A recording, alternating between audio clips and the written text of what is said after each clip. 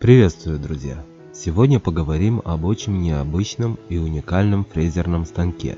Малоизвестный станок Гудброд был изготовлен в Хёфингене, городе к северу-западу от Штутгарта, Германия. Эта невероятная конструкция с одной стороны удивляет, но с другой заставляет задуматься, чем же руководствовался конструктор при создании столь необычной формы станка. Наверняка была какая-то логика, о которой приходится только гадать. К сожалению, ввиду чрезвычайной редкости станка, о нем очень мало информации и на фотографиях вы видите неполную оснастку. Как вы видите, самым необычным в станке является консоль цилиндрической формы, передвигающаяся на прямоугольных направляющих. Установленный на подставке станок имел высоту 1400 мм, длину около 700 мм и ширину 400 мм. Станок имел 8 скоростей подач шпинделя, который логично находился в передней части хобота. Двухскоростной двигатель и четырехскоростная коробка передач находились внутри консоли,